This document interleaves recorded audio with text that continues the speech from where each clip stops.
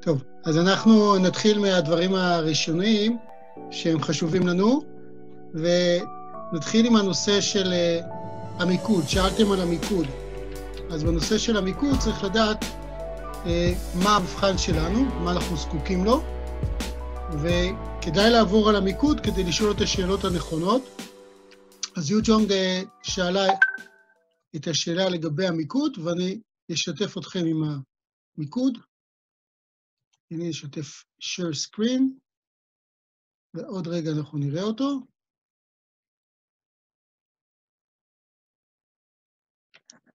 איפה הקובץ וורד? הנה הקובץ וורד.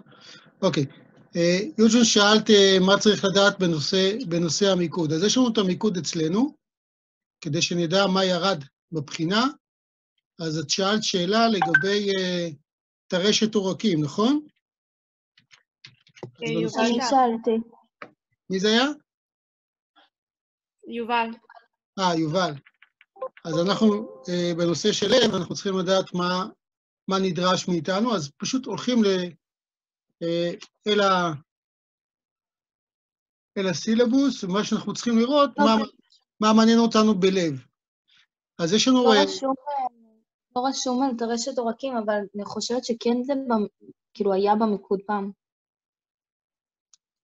אני חושב שכן צריך לדעת, כי על טרשת עורקים אנחנו יכולים לראות את הנושא של התאמה למבנה ותפקוד, שאחד הדברים החשובים הוא הזרמת הדם, וטרשת עורקים קשורה לכלי הדם הכליליים, כמו שאת רואה שזה מודגש גם בצהוב.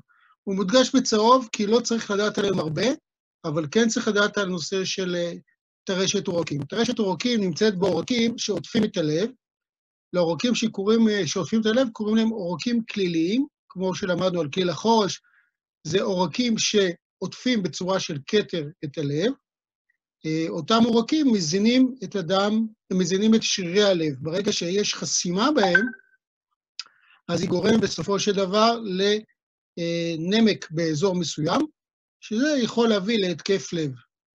איך יכולה להיות חסימה? אז החסימה יכולה להיות על ידי פציעה של כלי הדם, וזה דוגמה להתאמה של מבנה ותפקוד. אם יש פציעה של כלי הדם כתוצאה מתרופות, או כתוצאה מעישון, או פעילות כלשהי, או מחלה שפוגעת בחלקלקות של הדופן הפנימית של כלי הדם, אז העורקים הכליליים יכולים לפתח סתימה ולגרום בסופו של דבר לתעוקת לב.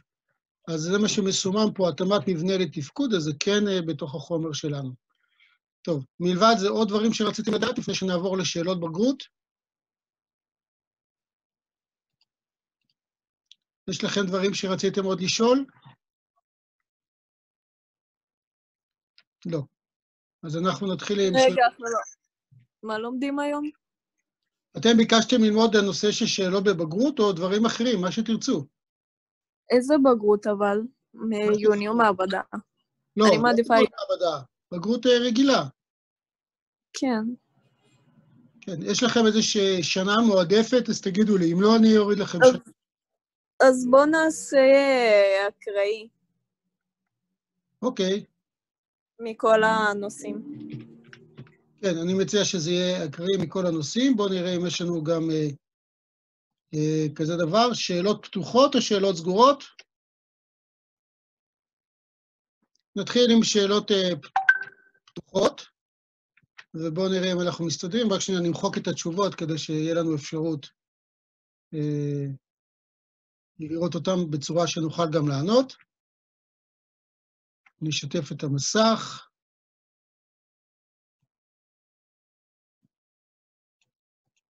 והנה יש לנו עכשיו את השאלות הפתוחות, ובואו נעבור על הנושאים, נראה אם אנחנו זקוקים אה, לאיזשהו אה, משהו שחשוב. דרך אגב, את השאלות האלו שמתי אותן בתרגול אה, ב Quizizz. אתם רוצים לנסות אותם קודם ב Quizizz, ואז אה, לעבור בשיעור, או שאנחנו נעבור תוך כדי? מה אתם מעדיפות? אה, נראה לי בשיעור יותר טוב.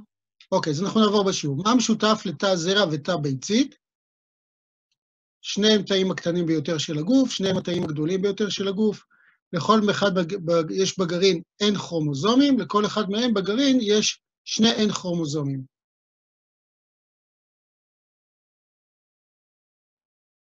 אמ, ג' נכון, יש להם N כרומוזומים, הם אה, אפלואידים, יש להם לא דיפלואידים, יש להם חצי מכמות הכרומוזומים. בתהליך ההפחתה, שנקרא תהליך המיוזה, משני אין כרומוזומים אנחנו מקבלים אין כרומוזום, מצוין. אה, אני לא הבנתי מה זה אפלואודים, או שאני צריכה לחזור. ואין. אפלואידים זה אומר שהם חצי, כמו המילה half. בסדר? זה אפלואידים זה בלועזית. אפלואידי זה דומה למילה half באנגלית. התחלה של זה, וככה אפשר לזכור. אז זה אפלואידי, זאת אומרת שיש בו חצי מכמות הכרומוזומים.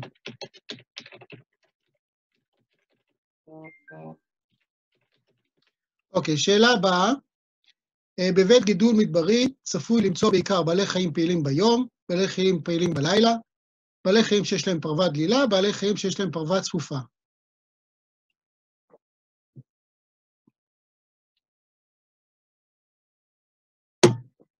ב', ב', בעלי חיים פעילים בלילה, זו התחלה מצוינת, וצמחים שיש להם שורשים מסועפים כדי שיוכלו לקלוט מים שניגרים על פני השטח ולא יורדים למעמקים. שאלה מצוינת, תשובה מצוינת. אוקיי, אה, אדם שנוגע בסיר חם מרחיק ממנו את ידו בתגובת רפלקס. מה מפעיל את תגובת הרפלקס הזאת? גזע המוח, סליחה, מוח השדרה, גזע המוח, קליפת המוח, או מרכז ויסות הטמפרטורה במוח. גזע מוח, ב', אוקיי. אז ככה, צריך להכיר את מערכת העצבים. מערכת העצבים בנויה בעצם מכמה חלקים, כאשר החלק אה, שלנו... ש- ד', ד', אוקיי. אז נתנו פה את כל התשובות כמעט, ואני רוצה לדייק בנושא הזה, קצת אה, בנושא של מערכת העצבים. אז ככה, אז יש לנו במערכת העצבים, איפה הסמן שלנו? ג'וב. אין פה ציור? פעם היה פה ציור. נעשה עוד פעם, שנייה. בואו נעשה את זה יותר קל במערכת העצבים, ניקח תמונה, ואנחנו נראה את זה במערכת העצבים.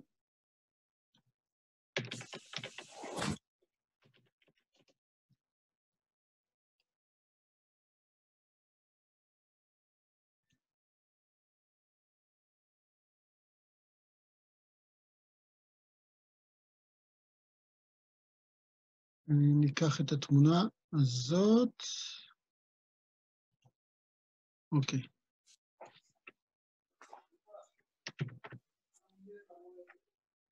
אז בואו נראה את מערכת העצבים שלנו. מערכת העצבים בנויה מכמה חלקים. אז יש לנו את מערכת העצבים המרכזית, שזה המוח שלנו, מוח הגולגולת, שבתוכה יש כמה מוכנים. יש לנו את המוח הארוך, שהוא מחבר אותנו למערכת המסועפת בתוך הגוף. המערכת שנמצאת במוח היא מרכז העצבים, וגם המוח המוארך שייך למרכז העצבים, כלומר, הוא שייך למוח המרכזי. מה זה המערכת העצבים האחרת? היא מערכת ההיקפית, מערכת הפריפרית בלעז. המערכת ההיקפית מקבלת מידע מכל המערכות שנמצאות מסביב, ומעבירה אותם דרך עמוד השדרה אל המוח. אה, אם יש מרכזים שנמצאים באזור הראש, באזור הגולגולת, אז הם לא עוברים דרך המוח המרכזי, כלומר, המוח המאורך, והם מגיעים ישר אל הגולגולת. למשל, עין מגיע ישר לגולגולת, אוזן מגיע ישר לגולגולת, פה ישר לגולגולת. אבל מהאזור של הכתפיים ומטה, זה עובר קודם כל למוח המאורך, ורק אחר כך מגיע אל המוח. המוח המאורך יש לו שרשרת רפלקס. כלומר, אם בן אדם מקבל גירוי ביד, ברגל, בחזה, או בכל מקום שהוא מתחת לקו ראש, הגירוי מגיע למוח המאורך. המוח המאורך לא מנתח את זה מהר, אלא אם כן הוא מזהה שיש לנו סכנה, הוא שולח פקודה, עוד לפני שהגיע למוח המרכזי, הוא שולח פקודה, נא להסיט את היד, או נא, נא לברוח, או כל דבר שהוא, כלומר, פעולת הרפלקס. ולכן אני חוזר עכשיו לשאלה שלנו. אדם שנגע בסיר חם, נוגע בסיר חם זה מתבצע על ידי המערכת הפריפרית, על ידי היד. הוא מיד מרחיק את היד ממנו בתגובת רפלקס. תגובת רפלקס שייכת למוח המוארך. אז לכן התשובה כאן זה מוח המוארך, שזה מוח השדרה. הוא נמצא בתוך עמוד השדרה, ולכן הוא נקרא מוח השדרה. שימו לב, יש פה שם שזה נקרא גנגליון. גנגליון זה מעין מוחון קטן שמאפשר לנו עיבוד טכני, בלי מודעות. אנחנו לא מבינים מה שאנחנו עושים, אנחנו פשוט מזיזים את היד, ורק לאחר כך מגיע אלינו העיבוד המודעי שהולך uh, בתוך המוח, שאז אנחנו מבינים את מה שעשינו. אז הגנגליון, שזה סוג של מוחון קטן, קיים בחרקים, קיים ביצורים לא מפותחים, והוא חלק uh, uh, מרכזי בפעולות רפלקס, לא מודעות, אין, אין מודעות, רק המוח המרכזי עושה מודעות לפעולות שלנו. לכן התשובה כאן תהיה, אדם שנוגע בסיר חם ומיד מרחיק את ידו, אז התגובה היא דרך מוח השדרה. גזע המוח, שהוא... אה, רגע. גזע המוח, שהוא חלק, שהוא חלק משמעותי, הוא נמצא כאן, בחיבור של מוח השדרה אל המוח המרכזי, ויש לו חשיבות בהפעלה של איברים שהם לא רצוניים. ולכן חשוב מאוד שהאזור הזה יהיה בשליטה. מוות של גזע המוח יכול לגרום למוות של האדם, אי פעילות של הלב, במיוחד אי פעילות של מערכת הנשימה, ואלו יכולים לגרום בסופו של דבר לקריסת מערכות בשלבים יותר uh, מאוחרים. אוקיי, שאלות על הנושא?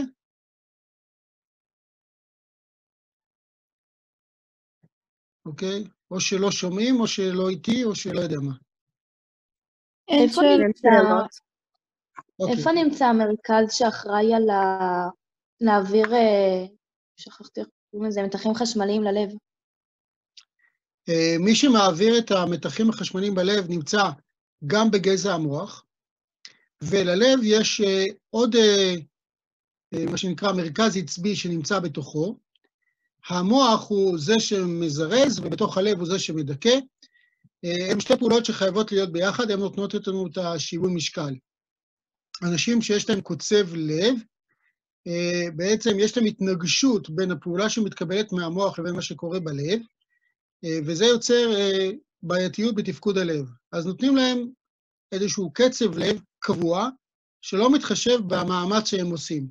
ולכן לאלו שיש להם קוצבי לב הם מאוד מאוד מוגבלים ביכולת שלהם התפקודית, הם לא יכולים להיות עכשיו אצנים, והדופק שלהם הוא כמעט קבוע אה, לכל הזמן. יש יותר משוכללים כמובן, אבל הקלאסי שביניהם זה קצב לב שהוא פחות או יותר אחיד. פלוס מינוס כמובן. אז קוצב לב יש לו גם אוקיי. קוצב פנימי וגם קוצב חיצוני, שהם עושים פעולות הפוכות. והקוצב החיצוני נמצא בגזע המוח או, ב... או במוח השדרה? בגזע המוח. אוקיי.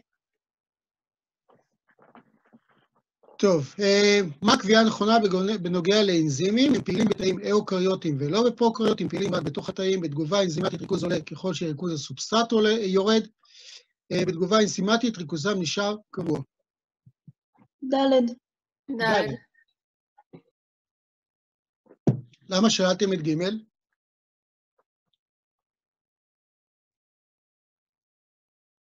כי הם לא יכולים? להופיע משום מקום.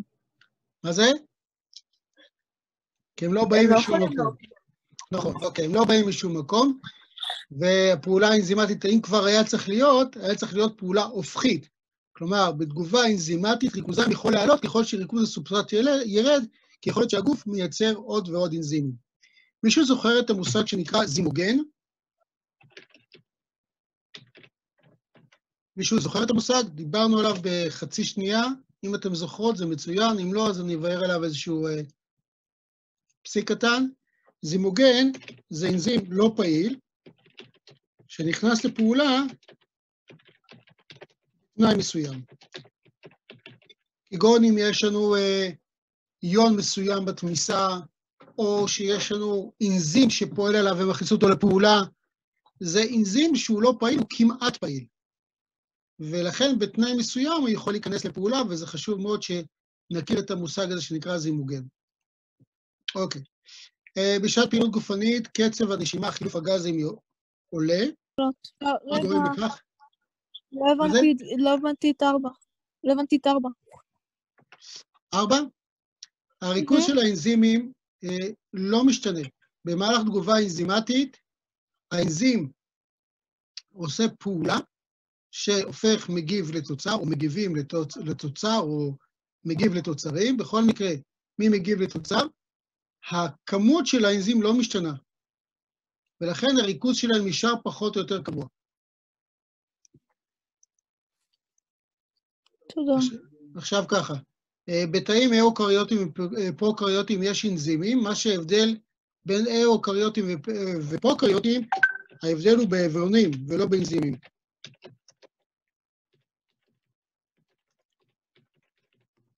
בפרוקריוטים יש לנו עברונים, באיוקריוטים אין לנו. אה, סליחה, פרוקריוטים אין עברונים, ואיוקריוטים יש לנו הרבה עברונים. אה, פעילים בתוך תאים, אנחנו עשינו ניסוי במעבדה וראינו שאנזימים גם יכולים לצאת מתוך השמר, ופה אמרנו שבג' זה בדיוק פעולה הפוכה שיוצרת אה, הומיוסטזית. חמש, בשעת פעילות גופנית, קצב הנשימה, חילוף הגזים עולה, מה גורם לכך? ירידה בריכוז הגלוקוז, עלייה בריכוז החומצה, הפחמתית בדם, עלייה בטמפרטורת הדם ועלייה בריכוז החמצן בדם. מה הוא אומר לכך? ב'. ב'. למה? כי אם יש אה, חילוף חומרים אה, מהיר, אז יש אה, יותר פחמן, ואין מס... וכאילו צריך להגדיל את קצב פעימות הלב. אז מי שמגדיל את קצב הלב?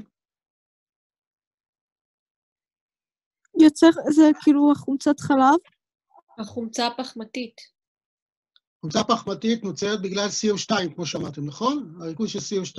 מה גורם את החמצה? מה גורם את החמצה של, של דם? בכלל, מה גורם את החמצה בגוף? חמצן אולי, אז יש הצטברות של החומצה הלקטית? חוץ מהחומצה הלקטית, משהו, משהו נוסף. החומצה הפחמתית גורמת למספר... אמ, לאיפשהו ב... ב... נו, במוח, לפעולה שגורמת לנשימות עמוקות יותר. נכון. הפעילות של חומצה היא חשובה מאוד כדי בסופו של דבר לראות את הפעילות שלנו. אז כמו שאנחנו רואים כאן, שעלייה בריכוז אה, החומצה, אבל התשובה הנכונה היא עלייה בריכוז החמצן בדם. ולמה? כי אז יש יותר נשימות. דווקא הייתי אותך שזה הפוך, שיש פחות חמצן, כי אתה פחות מספיק אה, להכניס חמצן לגוף, ואתה יותר מבזבז אותו. אוקיי. אנחנו מכניסים יותר מהר. השאלה, השאלה היא קצת טריקית, וצריך לראות מה הטריקי שבה.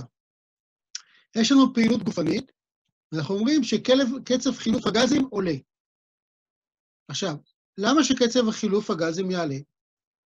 אם יש לנו תוצר, והתוצר שלנו זה פחמן דו-חמצני, באמת הפחמן דו-חמצני... קצב הלב שלנו עולה? מה? גם קצב הלב עולה. נכון, גם קצב הלב עולה, אבל שימו לב, השאלה היא טריקית, היא מדברת על חילוף גזים. זה הסוד שלנו. ומכיוון שיש לנו חילוף גזים, אנחנו צריכים להגיד שאין אפשרות להוציא יותר גזים ממה שקיים, אלא אם כן יש כניסה. אם יש כניסה יותר גדולה, אז יש גם יציאה יותר גדולה. אבל אם הכניסה נשארת אותו דבר, אז אנחנו לא, אנחנו לא יכולים לדבר על מצב שבו יש יציאה יותר גדולה. אז לכן חייב להיות עלייה בריכוז החמצן בדם. עכשיו, השאלה היא טריקית, מכיוון שהיא הייתה צריכה להישאל קצת אחרת, והתשובה הייתה מתאימה לחמצת. כלומר, בשאלת פעילות תגובנית, קצב הלב עולה, וזה נכון, ולמה קצב הלב עולה? כי יש לנו החמצה בדם. לא שומעים. לא שומעים. כולם? אף אחד לא שומע? כן.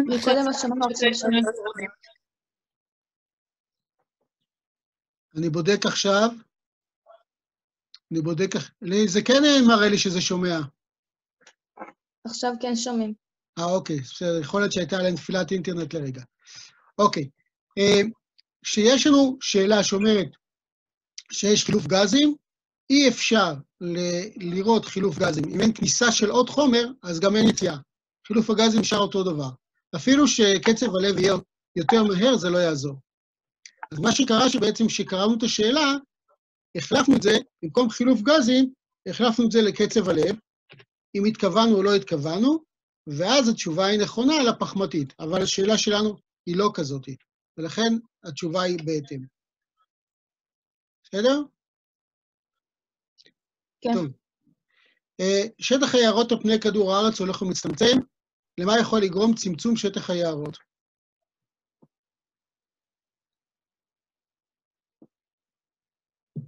א', א', א', לעלייה באפקט החממה שנגרם כתוצאה מ-CO2 שיש יותר באטמוספירה שלנו, מצוין. אצל עכברים, העלה לצבע פרווה. אה, אפשר הסבר למה אפקט החממה גורם לזה? אוקיי. אז אפקט החממה, אה, אוקיי, בואו נתחיל מזה, מזה ש... מה עושים צמחים?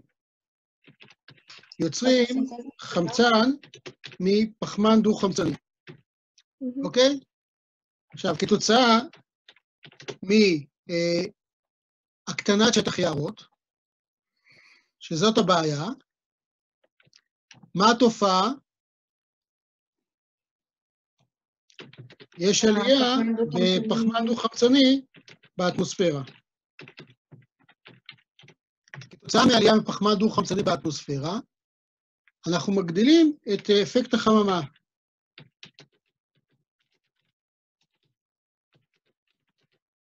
אפקט החממה גדל עם העלייה בגזים שמחזירים מחזירים חום לכדור הארץ.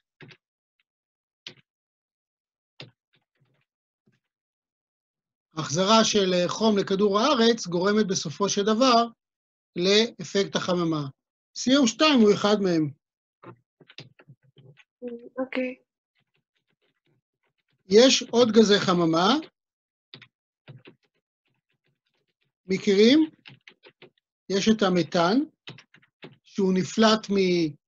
אה, בואו נגיד, ממערכת העיכול של יונקים, כולל בני אדם. זה אותם גזים שנדלקים לנו מאחוריים. זה קורה הרבה אצל אה, בהמות, אה, והם אה, פולטים הרבה מתאן. גם מתאן מעלה את ריכוז החממה, ריכוז גזי החממה, וגורם לעלייה באפקט החממה.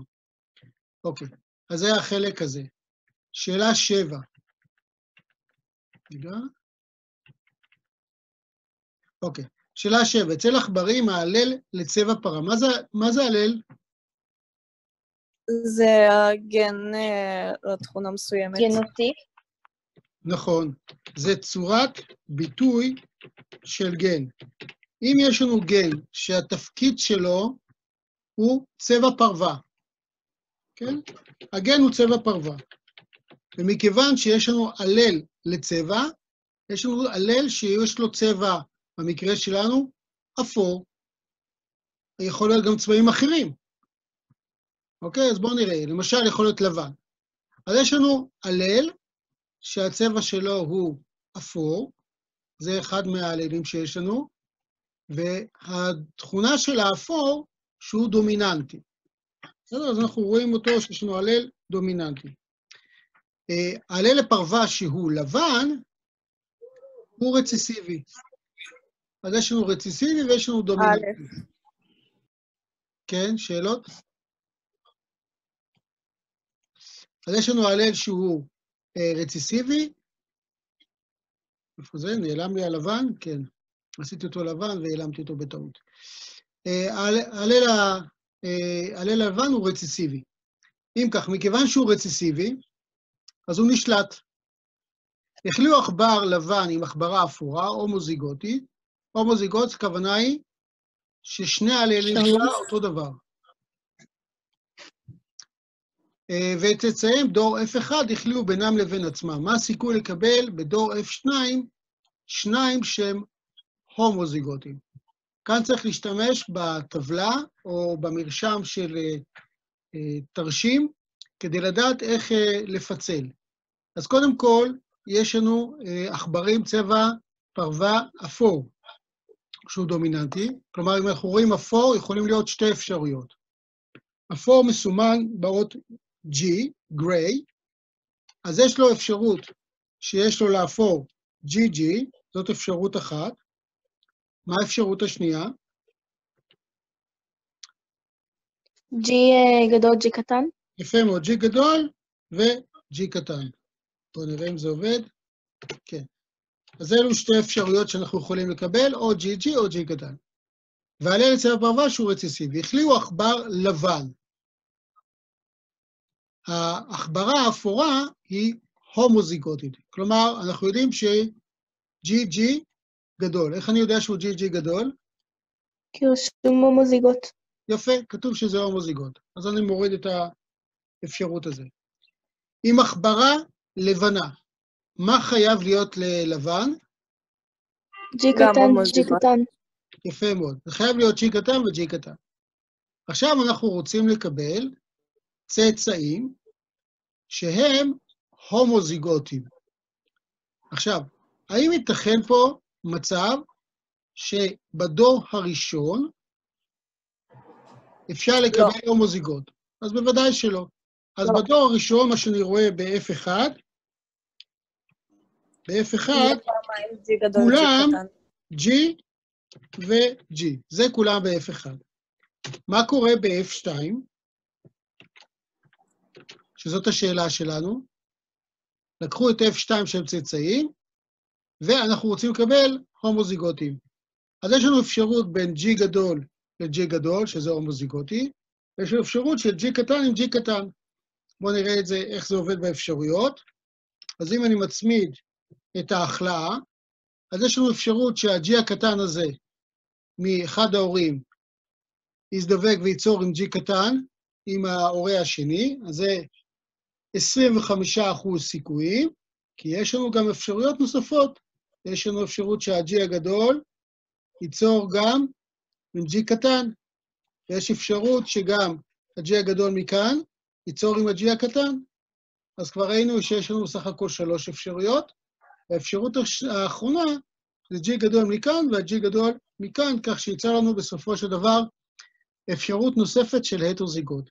זאת אומרת, אם אנחנו סוקרים את האפשרויות שלנו, של מה יכול להיות לנו בדור, ה... בדור הצאצאים, אז הדור הצאצאים יכול להיות לנו G, G, אפשרות נוספת G ו-G, עוד אפשרות נוספת שהיא G ו-G, כלומר כל אחד מההורה השני, ואני מסמן את הראשון תמיד ראשון, ואפשרות אחרונה זה GG. אז אם יש לנו פה ארבע אפשרויות מההורים שלנו, אז מה בעצם התשובה מכל ה... רבע? כאילו 25 אחוז? למה 25? כי יש רק אה, ג'י ג'י. אחד. אבל יש גם ג'י קטן. שים, נכון. מה שאנחנו מבקשים זה הומוזיגוטים. אז לא אכפת אם זה הומוזיגוטים כאלו, שהם שני ג'ין קטנים, או שני הומוזיגוטים גדולים. ולכן מתוך כל ארבע אפשרויות, שתיים מהם הן אפשרויות שמתאימות לי לזיווג של הומוזיגוט. בסדר? אז לכן התשובה שלנו היא 50 אחוז. אוקיי.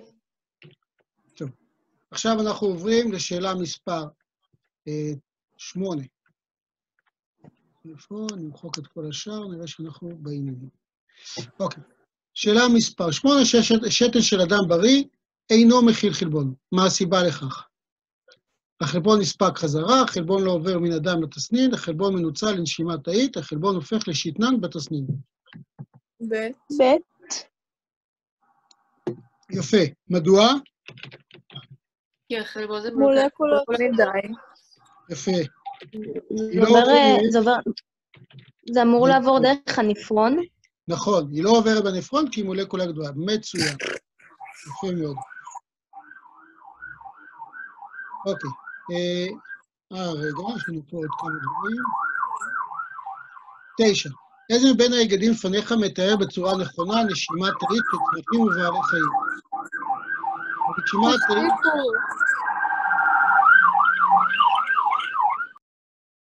תודה. איזה מבין ההיגדים שלפניך מתאר בצורה הנכונה ביותר נשימה תאית של צמחים ושל בעלי חיים? הנשימה התאית בצמחים היא פוטוסינתזה, כמו. בעלי חיים. נשימה תאית בבעלי חיים מתרחשת ביום ובלילה. ובצמחים מתרחשת רק בלילה. בשניהם רוב האנרגיה המופקת בתהליכים מתרחשת במיטוכונדריה. בשניהם CO2 משמש כמקור אנרגיה. ג' ג', בשניהם רוב האנרגיה מופקת בתהליכים המתרחשים במיטוכונדריה, גם לצמחים וגם לבעלי חיים. למה א' לא נכון? כי פוטוסינתזה זה מזון ולא נשימה. מצוין, יפה מאוד, מעולה. אוקיי? אז עניתם על זה כמו שצריך. מה יקרה אם יזריקו של... הד- אה, סליחה, יזריקו לדמו של אדם חלבון מחלב פרה? הגוף ישתמש בחלבון, הגוף יפריש את החלבון, ההפרוש, הגוף לא ייצור נוגדנים. הגוף ייצור נוגדנים. ד'. ד', התשובה היא ד', הוא ייצור נוגדנים, כי אנחנו לא מכירים את החלבון בזה. יכולים להיות מקרים בודדים שהחלבון של הפרה דומה לשלנו, ואז לא ייצור תנגודת, אבל זה מקרים בודדים. אה, איזה חלבונים אנחנו רוצים שיהיו אה, בודדים שלא ייצרו תנגודת? זה הנוגדנים. אם אנחנו מייצרים נוגדנים אצל פרה, אנחנו מעוניינים שלא ייווצר לנו תנגודת, כדי שהנוגדנים ישמשו לנו כנגד מחלות פולשניות, כמו למשל האנטיגן שנקרא קורונה. אוקיי, טמפרטורת הגוף של האדם נשמרת קבועה בקירוב, כאשר טמפרטורה סביבה נמוכה. מה הסיבה לכך?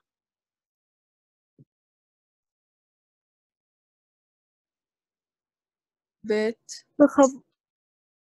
אה, לא משנה, חשבתי א'. אוקיי? אז הסיבה היא באמת הגברת קשב, קצב הנשימה התאית, שזה מתרחש בעיקר איפה? בעיקר בשרירים. לכן בן אדם שקר לו, הוא מרעיד את השרירים כדי להגביר את קצב הנשימה התאית שפולטת חום לסביבה. הלאה. 12. את סדר החומצות האמינות בחלבון המיוצר, מיוצר בתא קובע כמות ה-RNA שליח, מספר. מולקולות ה-RNA, הסוגים של חומצות האמיניות ורצף החנקנים ב-RNA שליח. אז כמו שאמרתם, נכון, קצף החנקנים ב-RNA שליח, שהוא נותן לנו בעצם את האפשרות שלנו, אופס, רגע, שהוא נותן לנו את האפשרות של יצירה נכונה של רצף. אה, איזה שאלה היינו? אפשר להסביר את 13. זה שוב? מה זה? אפשר להסביר שוב? אני לא הבנתי. אוקיי. מי שקובע את אה, סדר החומצות האמינות בחלבון זה ה-RNA. עכשיו, מה יש ב-RNA? RNA, יש בו רצף חומצות אמיניות, אה, רצף חומצות נוקלאיות, כלומר גרעיניות, שמהם מתורגם החלבון.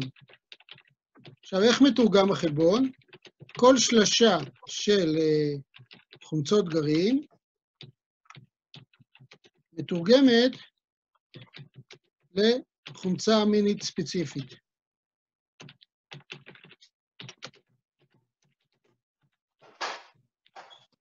כתוצאה מכך שהיא מתורגמת לחומצה אמינית, אנחנו יכולים לומר שמי שקובע, מי שקובע את הרצף של החומצות האמיניות זה החומצת גרעין. עכשיו, כתבתי בסוגריים או פקודה. מה הכוונה או פקודה? איזה פקודות יכולות להיות? יכול להיות פקודה, למשל, תחילת תהליך אה, תעתוק. כמו למשל, אם יש לנו מתיונין, אז אנחנו מתחילים לעשות תהליך תרגום. אז סליחה, תחילת של תרגיל, אה, תחילה של תהליך תרגום מתחיל. אה, אז בהתחלה אנחנו גם אה, לוקחים רצף שמתאים למתיונים ושמים מתיונים, וגם זו פקודה להתחיל לתרגם. דבר נוסף, יש לנו סיומות, כמו AUG, היא סיומת שאומרת להתחיל, להפסיק לעשות תרגום. וזוהי פקודה שלא מוסיפה בכלל חומצה אמינית. אוקיי, נשארנו כארבע דקות, אז בואו ננסה לראות כמה אנחנו מגיעים. אה, גידול מספר הצבעים באוכלוסייה נמצא בשטח נתון, יכול לגרום בטווח הקצר לעלייה במספר המינים, לעלייה בכמות הצמחים, להתגברות התחרות ולירידה במספר המינים הטורפים את הצבעים. להתגברות התחרות אולי? נכון? איזה תחרות? תוך מינית. בין המין, תוך מינית. יפה מאוד. אז התגברות התחרות התוך-מינית, שיכולה להיות בתוך אה, אזור מסוים, יפה מאוד. אה, לפניך שלוש תופעות הקיימות אצל חלק מן החולים בסכרת. חוסר באינסולין, הפרשת גמרות גדולה של שתן, ועלייה בריכוז גלוקוז בדם. מהו הסדר הנכון של ההתרחשות? מה קורה דבר ראשון, מה שני, מה שלישי?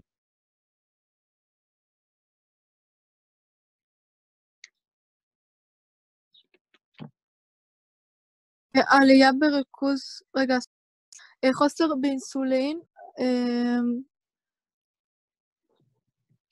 הפרשת, רגע, לא משנה, סליחה, סליחה.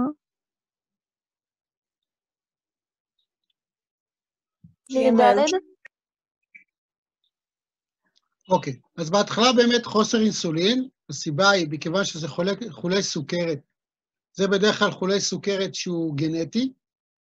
כתוצאה מכך, הגוף צריך uh, לטפל בפגם שנוצר. אז אנחנו מכירים שריכוז הגלוקוז עולה מכמה סיבות. אחד, זה יכול להיות אכילה, אבל שניים שהם רצו שנתחיל ממנו, והוא קצת בעייתי, וזה ירידה בנפח הדם. כלומר, מה שרצו שנשים לב, שיש אפשרות לירידה בנפח הדם. עכשיו, כיוון שלא כתוב פה שיש כאן אכילה, אז היינו צריכים להגיד שמי שמתחיל את התשובה זה שתיים.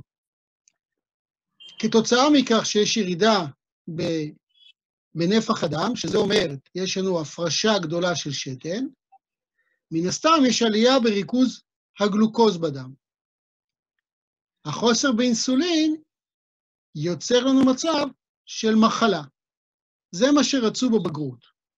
עכשיו, כשאנחנו ענינו על זה, אנחנו יצאנו מתוך נקודת הנחה שמדובר באכילה כשלב ראשון. אבל אין לנו אכילה בשלב ראשון, וזו שאלה טריקית, ולכן אני לא אוהב את התשובה בבגרות, אני גם לא אוהב את השאלה הזאת. אבל זה חלק שלי בתגובה שלי לשאלה של הבגרות. זו שאלה יותר בהבנה של מהו התהליך שקדם לעלייה בר- בריכוז הגלוקוז, ופחות לתהליך שקורה אצל חולי סכרת.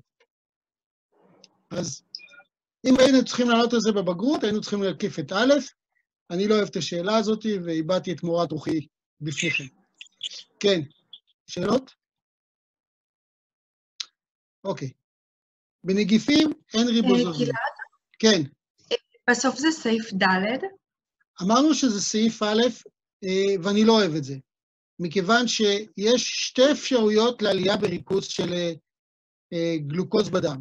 יש כמה אפשרויות, אבל האפשרות הראשונה, דיברנו על אכילה, ויש גם אפשרות בירידה בנפח הדם. ומה שהם רצו לשים לב, שנשים לב שאין פה אכילה. לא כתוב שיש לנו אכילה. עכשיו, אנחנו הלכנו ישירות לנושא של עלייה בריכוז אה, אה, לא יש שאלות כאלו, כי בסך הכל בבגרות יש לנו אה, אפשרות לטעות בשלוש שאלות מתוך הבחינות הבגרות, וקיבלנו 100% גם על חלק הזה. אז לא להתבאס.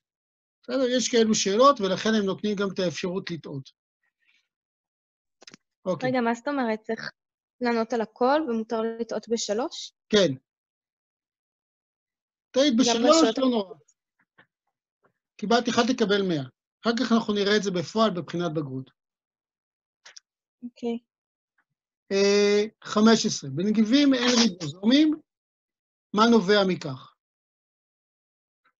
הם משתמשים בסוכרי במקום חלבונים, אין בהם חומר תורשתי, אין בהם חלבונים, הם זקוקים לתא מאחסן כדי ליצור חלבון. ד' נכון, הם זקוקים לתא מאחסן כדי ליצור חלבונים, מכיוון שאין בהם ריבוזומים. האם היה נכ- נכון להגיד את הדבר הזה? בנגיפים אין חלבונים. האם זה נכון? לא, יש להם. נכון, יש נגיפים שיש להם, לא לכולם, אבל יש כאלו שיש להם. במיוחד אה, אם מתייחסים למעטפת, אז יש לכולם. אוקיי. איזה מן המוטציות האלה, רגע, איזו מן המוטציות האלה שתשפיע יותר על האבולוציה של מין מסוים, שאינה משנה את כשירות הפרט, שזה נקרא הסתגלות, מוטציה שאינה משנה את הכשירות של הפרט ומתרחשת בתאי הגוף, פה זה אמרנו תאי רבייה ופה זה תאי הגוף. תשובה ב-15? 15, ד'. ד'. זו התשובה מועדפת. 16. איזה מן המוטציות האלו תשפיע על האבולוציה של מין מסוים? מוטציה שאינה משנה את הכשירות של הפרט ומתרחשת בתא- בתאי הרבייה, בתא הרבייה, מה שנקרא גמטה. מוטציה שאינה משנה את הכשירות של הפרט ומתרחשת בתא הגוף, תא סומטי. אה, מוטציה מעלה את הכשירות של הפרט ומתרחשת בתאי הרבייה, ומוטציה מעלה את הכשירות של הפרט ומתרחשת בתאי הגוף. פה ג'. מוטציות שתשפיע על אבולוציה, ג'? ג'. אז היא משפרת את כשירות של הפרט, ומתרחשת בתעלי בתאי הרבייה, כך שהיא מאפשרה- מאפשרת להעביר את זה לדור הבא שלנו. רגע, אופס. לא הבנתי מה זה מוטציה מעלה את כשירות הפרט. ורואים שפו את התשובות. מה זה? מה זה היא נותנת מוטציה? לא הבנתי- לא הבנתי מה זה מוטציה שמשנה את כשירות של הפרט. היא מעלה, מעלה או מפחיתה את היכולת של פרט להסתגל לסביבה חדשה. אה, דוגמה, אם אה, עכשיו יש אה, חוסר במים באזור, אם מבחינה גנטית יש שינוי בתאי הגמטה לכך שייווצר ייצור שישמור יותר על תהליכים של מים בתוך הגוף, אז המוטציה הזאת היא תהיה מועדפת. ויש לנו אפשרות לשמור את התהליך הזה בצורה טובה יותר. אה, לא, לא הבנתי מה זאת אומרת כשירות של הפרט. שהפרט יוכל להסתגל טוב יותר לשינויים שבסביבה. אוקיי. אה, זרע של צמח מפיק את האנרגיה הדרושה לנביטתו ישירות מין.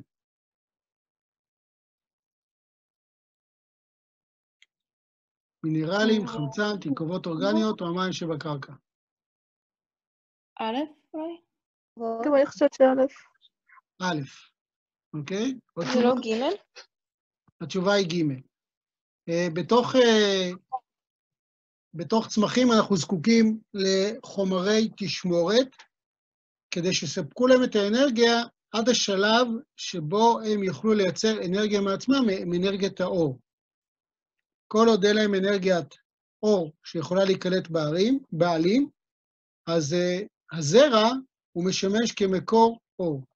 בסך הכל בזרע יש המון המון חומרי תשמורת, והם אה, החל- החלקים המשמעותיים ביותר ביכולת שלנו לשמור את הזרע בימים של מצוקה, כשאין לו אפשרות אה, להתפתח ללא, אה, ללא מערכות. עכשיו, בואו ניקח דוגמה לזרע, לזרע כמו למשל אה, זרע של, אה, שאפשר לזרוע אותו באדמה, אז אם נסתכל לזרע של אפשר לזרוע אותו בתוך האדמה, אה, ניקח דוגמה שכולם מכירים, מקווה שכולם מכירים, אז בואו נסתכל על זה.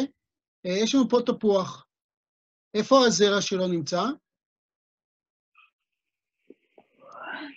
בגרעין?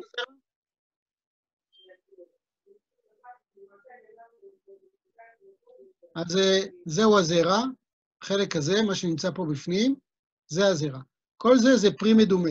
מה שיש מסביב זה פרי מדומה, זה בכלל לא זרע. זה לא זרע. זה, זה לא זרע, אה, זה פרי מדומה, והוא לא משמש אותנו אה, להתפתחות של הזרע, אלא רק החלק הזה שנמצא בפנים. אז אם מסתכלים על החלק בפנים בהגדלה, אז ניתן לראות שיש לו כמה חלקים. החלק הפנימי ביותר מכיל את הנבט. הנבט נמצא פה כמין עובר קטן, נקודה קטנה מאוד. כל החלק הגדול הזה מסביב זה עמילן, חלבונים וחומרים נוספים שהתפקיד שלהם להוות חומר תשמורת.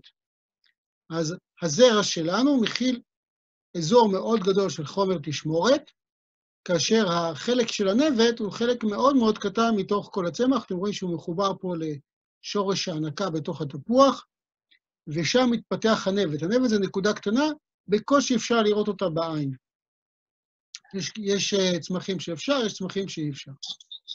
אז לכן התשובה היא חומרים, תלכובות אורגניות שיש בתוך הצמח. Uh, איזה מבין המשפטים שלפניך נכון בנוגע לתהליך של ברירה טבעית באוכלוסייה מסוימת? פרטים מסוימים משנים את עצמם ומעבירים לצאצאים את התכונות שנרכשו. הפרטים מסתגלים במשך חייהם לשינויי סביבה ולכן שורדים. רק תכונות המקנות יתרון הישרדות עוברות בתורשה. יש שונות גנטית בין הפרטים ורק חלק מהם שורדים לאחר שינויים בסביבה. א'. א'. למה א'? לא, ב', ד'. אוקיי, אז בואו נראה, התשובה היא באמת ד'. אה, פרטים משנים את עצמם. אם אני אחליט עכשיו שאני צובע את השיער שלי כל החיים בצבע ג'ינג'י, נניח, כל. זה אומר שאני אעביר את התכונה לצאצאים? ממש לא. אה, אם אני מסתגל עכשיו לטמפרטורה מסוימת או לאיכות מסוימת, נניח אני גר בירושלים, אז זה אומר שאני יכול uh, לשרוד, כן? מה שכתוב, איזה מבין המשפטים עובר לחנך לתהליך של ברירה טבעית. אז תשובה ב' היא נכונה לגבי שרידה, אבל היא לא מדברת על ברירה טבעית שמתרחשת לאורך זמן, היא מתרחשת לגבי הפרט. מה זה אומר שאם לא יהיה לי אפשרות להסתגלות? מה יקרה?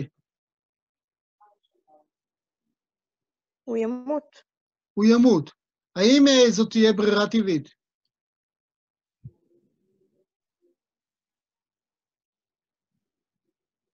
התשובה היא לא. כן. זה כן יהיה ברירה טבעית, הוא יהיה- הוא ימות. אה, בואו נלך לג' רק תכונות המקנות יתרון הישרדות עוברות בתורשה? לאו דווקא.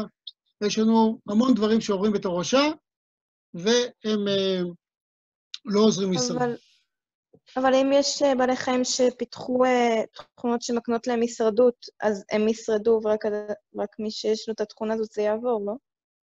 אוקיי. נניח שלמישהו יש תכונת הישרדות שנמצאת לו אה, בתאי, בתאי גמטה.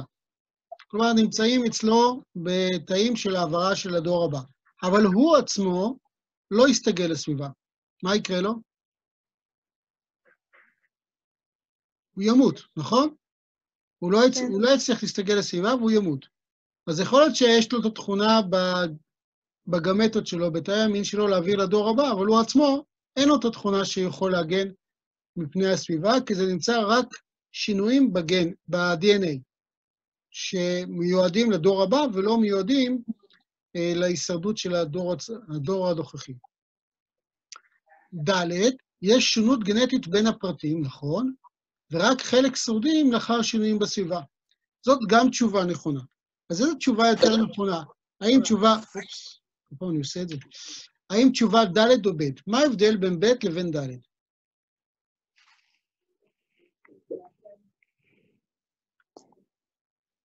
פה הדגש, ש- וב' זה... לא משנה. ב' זה אומר שיש לנו הסתגלות. למשל, בן אדם שגר בירושלים יכול להסתגל לסביבה שהיא יבשה. אז הוא מסתגל, זה בסדר. האם הוא יעביר את זה לדור הבא? לא ממש. הוא לא יצטרך לעבור לדור הבא. אם הילד שלו החליט לח- לחיות באזור תל אביב, יכול להיות מאוד שהוא יסתגל לתל אביב, יכול להיות שלא. אבל הוא לא מעביר את זה לדור הבא, ולכן התשובה שלנו, למרות שב' מאוד קרובה, התשובה ד' היא התשובה הנכונה. איזה מן הקבוצות החומרים הבאים שלפניך נמצאים באדם אדם בריא? אנזימים עמילן שומנים, חמצן חומצות אמיניות הורמונים, חמצן רב סוכר CO2 ונוגדנים, מינרלים וגליקוגן.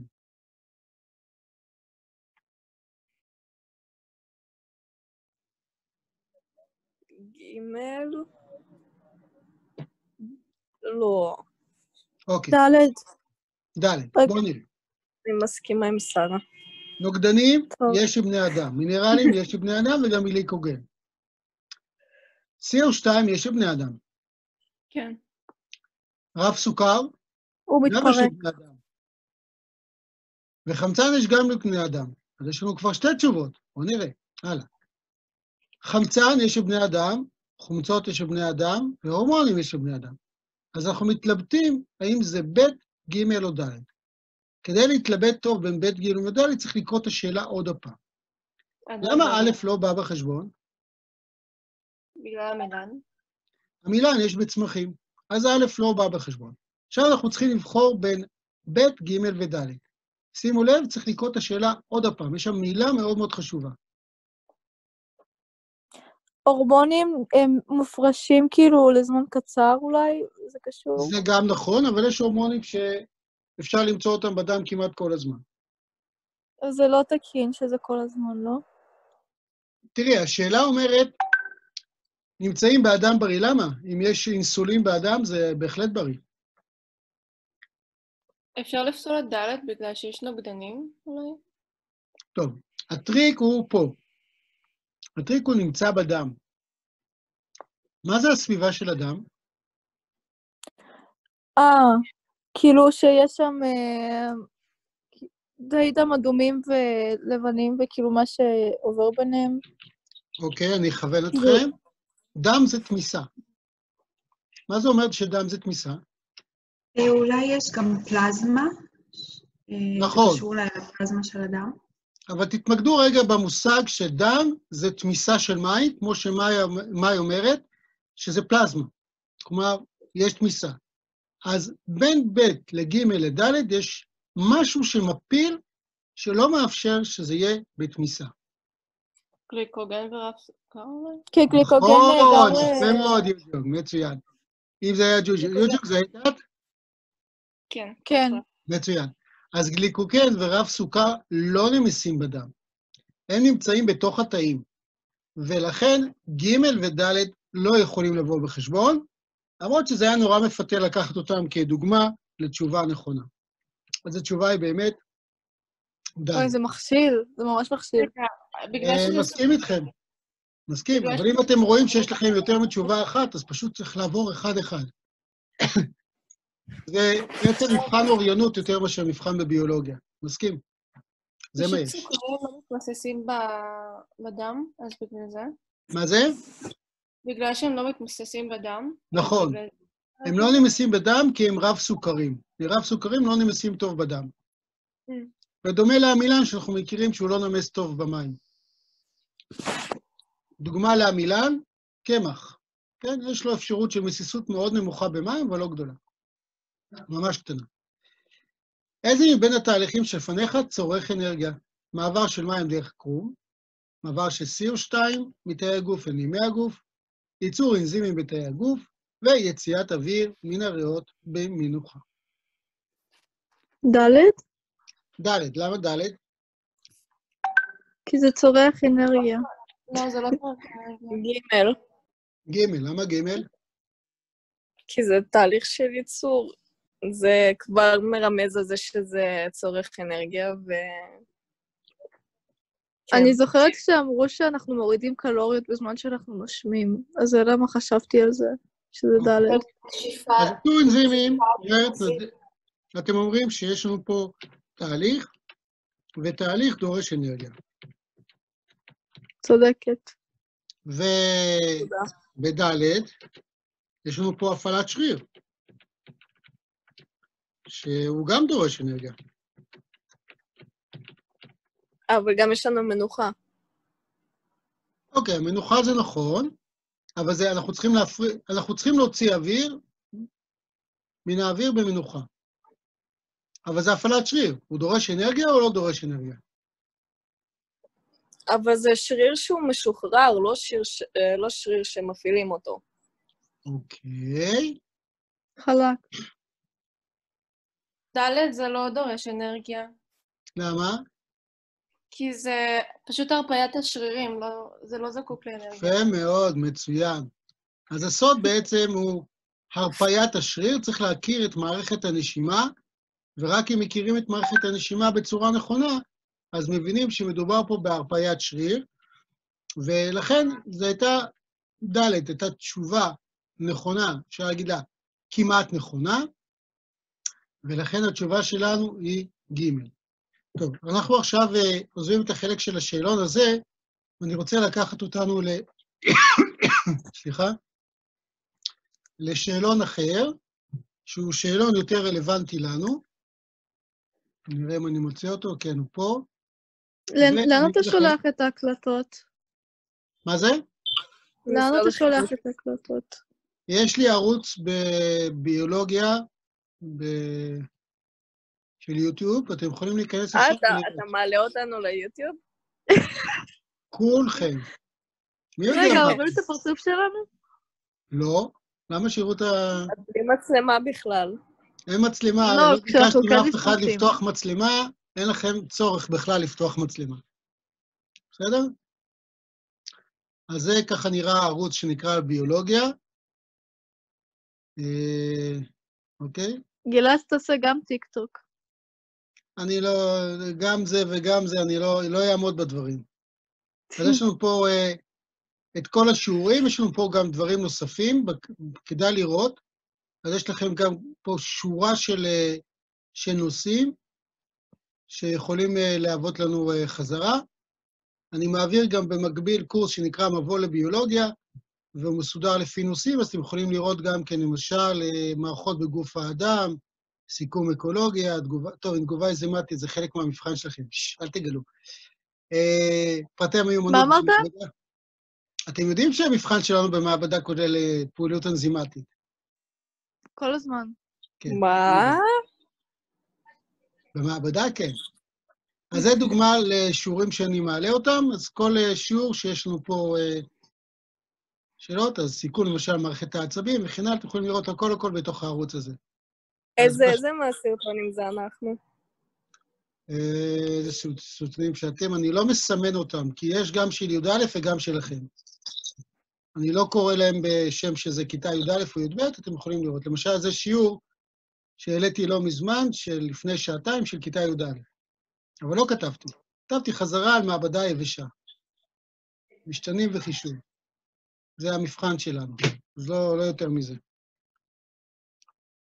בסדר? אז אתם רוצים, אם אתם רוצות, אז יהיה לכם עכשיו את הקישור, אתם יכולים לשים אותו אצלכם כדי לראות את השיעורים שם, מה שמעניין אתכם. טוב, אה, אני נכנס עכשיו לבחינה, ואני רוצה להוביל אתכם לבחינה. אנחנו אה, עושים בחינות מתוקשבות. אם אתם לוחצים על צפייה בבחינות מתוקשבות, כדאי לכם לתרגל בזה. זה מה שאנחנו עושים, אז אני אפתח, אראה לכם מה שכבר פתחתי. אז השאלון שלנו הוא שאלון 43387, ואת זה, מה שנקרא תרגול מקלדת, את זה אנחנו צריכים לעשות ממש לפני, לפני המתכונת, אז כולם לפני המתכונת יצטרכו לעשות את זה. אם אתם רוצות לעשות את זה כבר עכשיו, את התרגיל הזה, אז תעשו את התרגיל, אבל צריך להירשם. אז זה קצת יהיה בעיה, כי אתם לא תוכלו להיכנס בהרשמה, זה צריך להיות דרך בית ספר. אבל אתם יביאו יכולים לנו לראות... איזה ציון? מה? יביאו לנו איזה ציון? לא, זה רק שתדעו איך, איך להפעיל אותו. אז אני רק בקצרה, אם אני צריך עכשיו אה, לקחת אה, ולהקליד את מה שיש כאן, אני צריך לדעת איך אני כותב את התהליך. אז בואו נראה. אז יש לנו תיאור של מגיבים, אה, במקרה שלנו, התהליך שלנו הוא תהליך של נשימה. אז אנחנו משתמשים בגלוקוז, אנחנו צריכים להכניס כאן את החומר שלנו.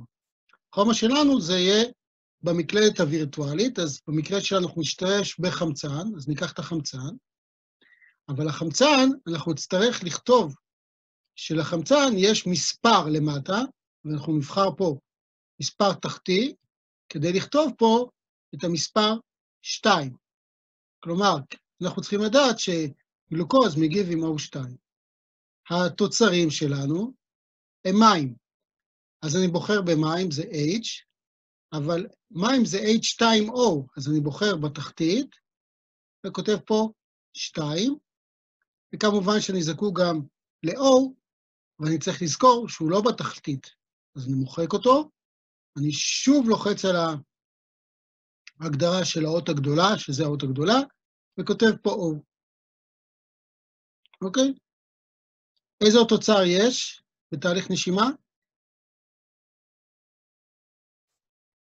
CO2, נכון? אז זה C ו-O, אבל זה לא טוב לי. למה לא טוב לי? כי אם אני אכתוב פה 2, אני אכתוב אותו בצורה הזאת, וזה לא נכון. אז הכי ימני, מתחת ל-C. יפה מאוד. אז כשאני בוחר את ה-O, אני צריך לבחור את המספר התחתי, ואז לכתוב כאן 2. עכשיו, כדי שהתהליך יהיה מאוזן, אני צריך שיהיה פה את המספר 6, וכאן תהיה מספר 6 בהתחלה, בהתחלה. כאן בחרתי אותו, וגם כאן 6. זה כדי להזין את התהליך. אה, אתם לא תצטרכו לאזן, אבל תצטרכו לדעת איך להשתמש בדברים האלו. אה, למה? במה זה יהיה? תראו, קודם כל תהליך נשימה, אתם זוכרות אותו בעל פה, זה לא בעיה. אבל חוץ מזה, אתם לא תצטרכו יותר מדי תהליכים. תהליך הפוטוסינתזה הוא בדיוק הפוך. אה, אותו דבר סימון אללים. אז אם אנחנו צריכים לסמן אללים, אז אנחנו צריכים לדעת איך לסמן אותם. למשל, הנושא של גנוטיפ של דם, אז אנחנו זוכרים שסימנו אותם בעזרת האותיות I גדול ו-I קטן, והסימון גם כן יהיה או שזו אות גדולה, או שזו אות גדולה עם כיתוב עילי, כדי לציין את הכיתוב. אז יש לנו פה מולקולת הדם מסוג ABO, יש לנו שלושה אללים, I, IB גדול, IA גדול, ויש לנו I שמציין לנו את הסוג דם שנקרא O. אז אם אנחנו צריכים לציין, אנחנו מציינים אותו בצורה הזאת. יש לנו I, אבל אנחנו צריכים כתיבה למעלה. אז אני כותב אותו כאן, מכיוון שיש לנו A, זה IB. אני חוזר לכתיבה נוספת של אות גדולה, אני כותב שיש לנו I, אני מסמן אותו למעלה, יש לנו B. זה הגנוטיפ שלו. ולגנוטיפ של O, אני יודע שזה שני I'ים, שהם בעצם אותיות קטנות, ואין עליהם שום הלל, ואז אני שומר, ואז יש לי אפשרות לשמור בסופו של דבר, גם לראות את התשובות, אם צדקנו או לא צדקנו. אז זה פחות או יותר התרגיל שאתם צריכים לעשות. אה, כאן זה, אין לכם אפשרות אה, לראות אה, מעבר למה שכתוב כאן, אבל אה, בתרגול שנעשה בכיתה, זה פחות או יותר מה שתצטרכו לעשות. זה התרגול. אה, נחזור לדף, אז יש לנו פה תרגול של מקלדת, שכדאי שתתרגלו אותו בבית, ויש לנו פה בחינות משנים קודמות. אז יש לנו פה הדמיה ובחינות בגרות, ואנחנו ניכנס לאחד מהם. אז כבר פתחתי לכם אחד מהם, יש לנו פה שיעור של תרגיל הדמיה, אז ככה נפתח לנו הבחינת בגרות, בחינת תרגול. סליחה, זה בחינת תרגול, לא, לא בחינה הזאת, סליחה. הנה. יש לנו פה אה, בחינה מ-2017, ואתם יכולים להיכנס לבחינה הזאת ולהתחיל לענות על השאלות. עכשיו, אני הייתי רוצה ללכת לפרק הרביעי, אה, בזמן שנשאר לנו, אז ברשותכם אני אדלג קצת הלאה. בואו נראה. אני בוחר פה את החלק הרביעי. הנה החלק הרביעי, זה החלק הזה. נראה אם הוא נכנס לנו. אוקיי. אז בחלק הרביעי יש לנו כמה סוגים של שאלות. יש לנו בקרה על ביטוי גנטי והנדסה קנטית, זה לא חומר שאנחנו למדנו. יש לנו גם נושאים אחרים, פיזיולוגיה, זה לא מה שאנחנו למדנו, ויש לנו שאלות שקשורות, יש לנו שאלות שקשורות לנושא של חיידקים ונגיפים בגוף האדם, זה מה שאנחנו למדנו. זה בחלק הרביעי. אני נכנס לשאלות 39 עד 37, והן שאלות חובה עבורי. ופה אני צריך לתת תשובות שהן תשובות שאני צריך להקליד אותן. אז בואו נראה כמה מהשאלות בזמן שנשאר לנו. ציין שלושה חומרים מסוגים שונים הנמצאים בתא המאחסן, שהנגיף מנצל כדי להתרבות. אנחנו שמים פה דגש על שלושה חומרים. אז מי שזוכרת, אז בבקשה, מוזמנת uh, להצטרף לתשובה. אלו שלושה חומרים נמצאים בתא המאחסן שהנגיף מנצל.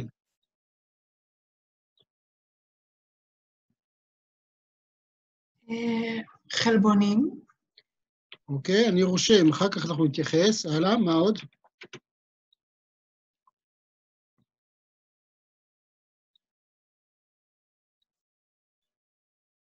אני זוכרת רשמתי פעם ATP ואמרת שמשהו זה לא מדויק. ATP אני רושם, אחר כך אנחנו נרשום, נסתכל מה יכול להיות. הלאה.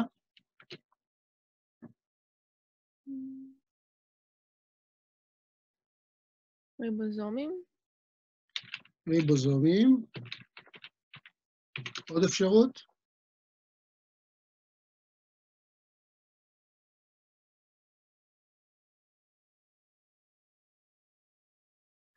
אוקיי, כדי לתת את התשובה המלאה, אני זקוק בעצם להבין את התהליך. מה שצריך לעשות בווירוס, אז הווירוס הוא uh, עושה פעולה של העברת, או יותר נכון, תרגום המידע הגנטי לבניית וירוס חדש. עכשיו, בשביל זה אנחנו צריכים, זה התהליך. זאת אומרת, הוא צריך לעשות מידע גנטי. עכשיו, המידע הגנטי שלו בדרך כלל זה DNA או RNA, וכדי לתרגם אנחנו זקוקים לכמה דברים. קודם כל צריך מישהו שיעשה את התרגום. אז התרגום נעשה על ידי ריבוזום. אז אני חייב ריבוזום. דבר נוסף, אני צריך חומרים. איזה חומרים אני זקוק? צריך גם RNA שליח? Uh, לפעמים הוא יצטרך להפוך את ה-DNA ל-RNA שליח, אז איזה חומר הוא יצטקק?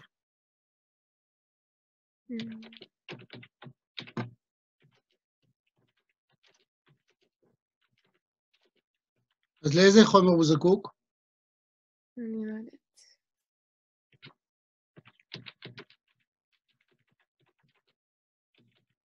הוא זקוק לחומצות גרעין. בלי חומצות גרעין, הוא לא יעשה את התהליך הזה. אז כך הוא כך, גם הוא יהפוך DNA ל-RNA שליח, או שיהפוך מ-DNA ל-DNA, לא משנה, הוא זקוק לחומצות גרעין. זה מה שהוא זקוק. מה הוא עוד זקוק? אנחנו צריכים לייצר וירוס. וירוס כולל בתוכו כמה מרכיבים. יש לו מעטפת, בואו נסתכל לרגע איך נראה וירוס כדי שתזכרו.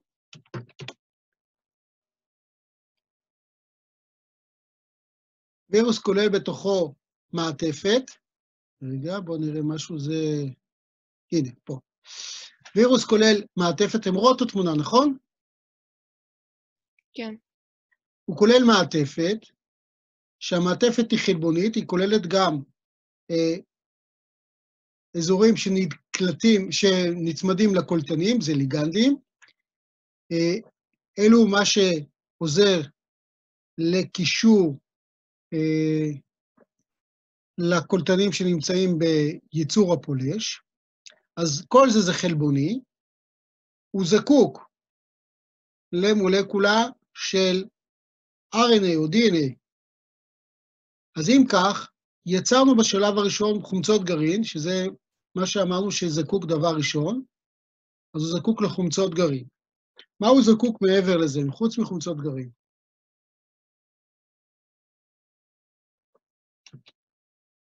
ראינו מקודם בתמונה, למה עוד הוא זקוק? למעטפת? למעטפת. ממה היא בנויה?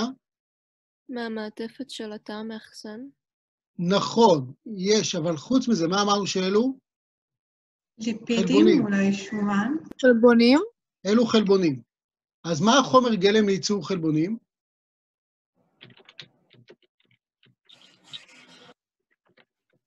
המאחסן?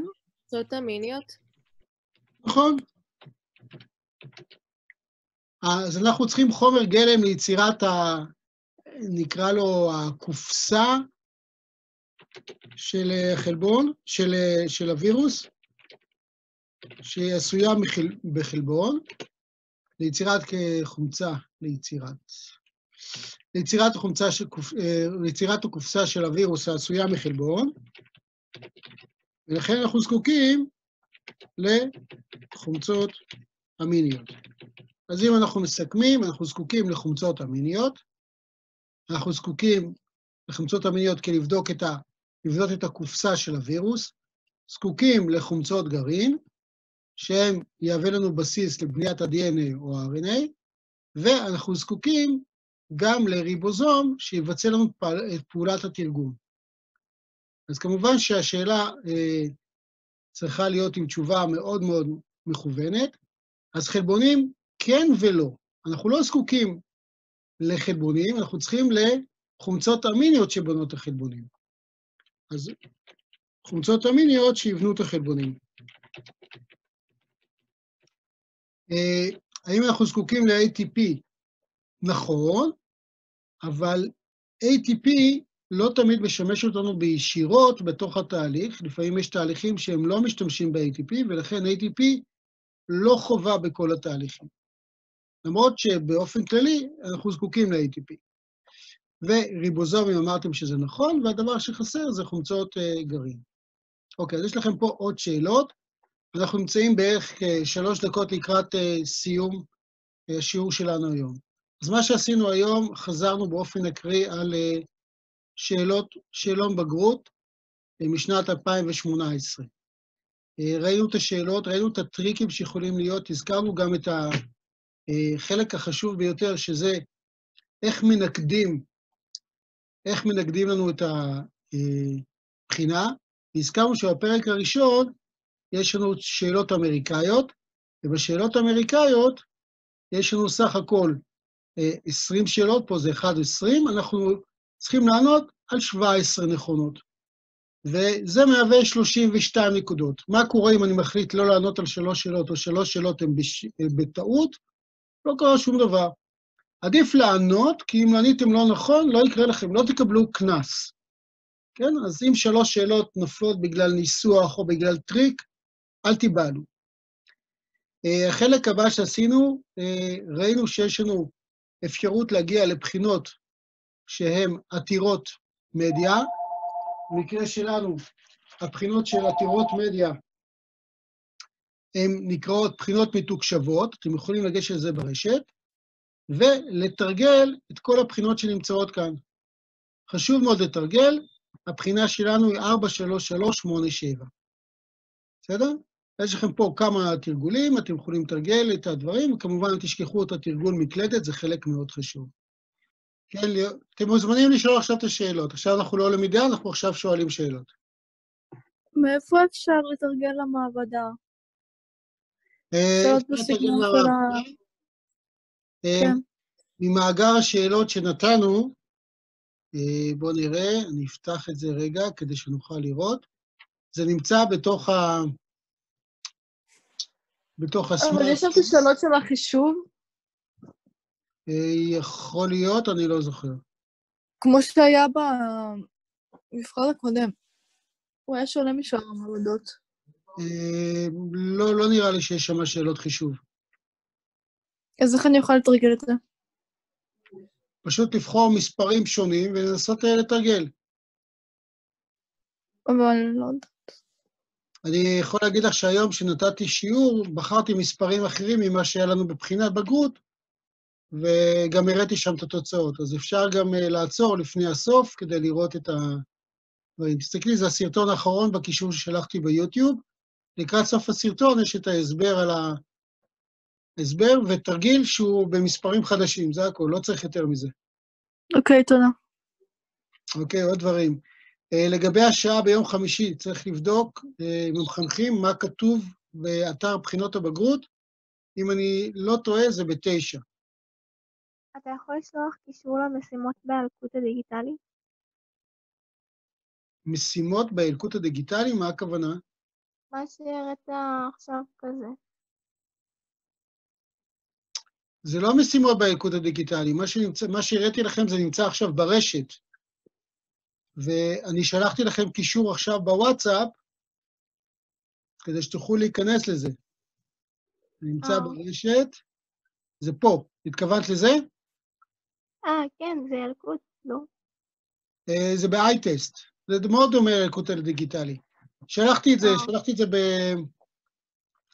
בקישור שנתתי לכם. אוקיי. עכשיו, אה, אם תשימו לב, יש פה גם עוד מקצועות, אתם יכולים להיכנס לאנגלית, לביולוגיה, לגיאוגרפיה, כימיה. מוזיקה, כל נושא שעלה לרשת, אתם יכולים לחפש פה ולקבל אה, מבחנים, בלי שום בעיה. אז מי שרוצה לתרגל באנגלית או משהו כזה, ביולוגיה, יש לכם אפשרות פה, כל מה שאתם רוצים. עוד שאלות?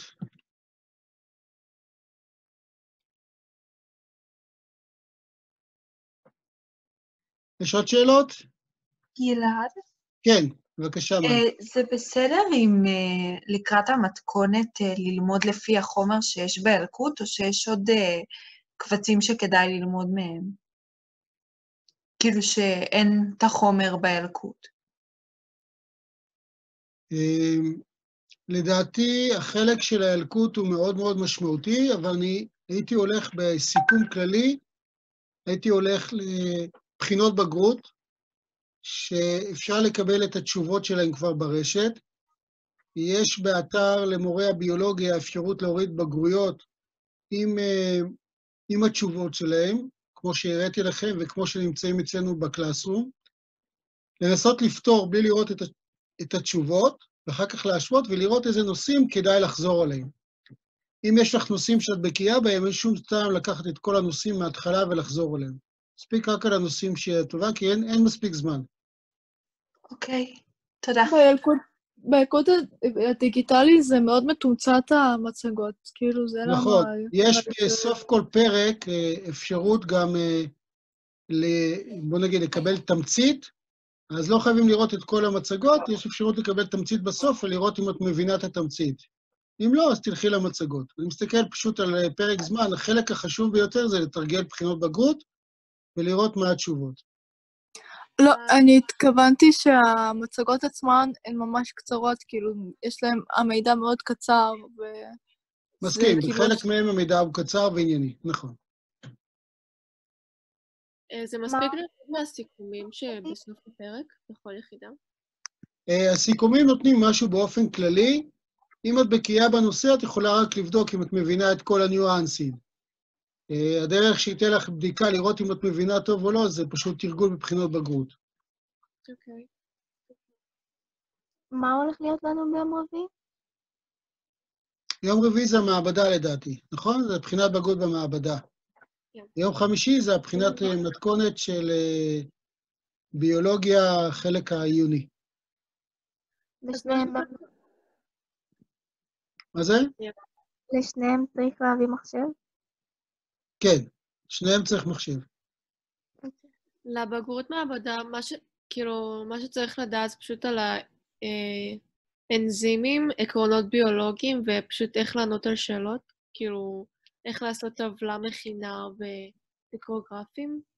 כן, אלו הדברים הבסיסיים. נתתי לכם קובץ שמופיע לכם בקלאסרום, ונקרא בלקראת בגרות. שם יש את כל הדברים שצריכים לבגרות. ננסה, אתם, אם אתם רוצים, אני יכול לנסות להציג לכם, כדי שתוכלו לדעת איזה קובץ אני מדבר. נראה שזה פתוח לי. אם זה פתוח אני אראה, אם לא זה ייקח דקה, אם זה פתוח, אוקיי? זה הקובץ, אני אשלח לכם אותו בוואטסאפ, זה יהיה לכם קל. אז יש לכם ניסוח שאלה ביולוגית, ניסוח השערה, הבסיס הביולוגי, משתנה, לא משתנה, עיקרון, כל אלה דברים שצריך לעשות. זה כל הדברים שבקצרה. זה לבחינה, לבחינה שלנו. אוקיי. אוקיי. ופה אין, אין אה, משהו שירד, נכון? במעבדה אין לא, לא. במעבדה לא ירד כלום. אוקיי. אז אני אשלח לכם בוואטסאפ כדי שיהיה לכם גם זמין, זה נמצא גם בקלאסרום. סבבה. עוד משהו?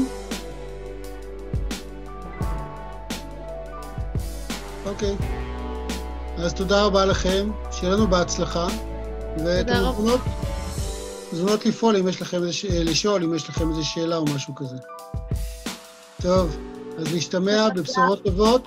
לבחינה שאתם מגיעים, בבקשה להגיע עם כל ציוד המגן שאפשרי, כדי שלא ניצר לנו איזושהי בעייתיות. בסדר? אז להתראות. כל טוב. תודה. להתראות. תודה. שלום, בשמחה.